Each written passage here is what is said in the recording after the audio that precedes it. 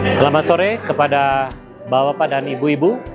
Uh, pada hari ini UNAI melaksanakan satu program pertemuan dengan semua dosen dan khususnya pada hari ini adalah untuk memberikan satu penataran workshop bagaimana cara menulis kepada artikel-artikel di jurnal-jurnal yang terindeks ya dan kemudian juga bagaimana boleh menembus kepada tingkat Scopus.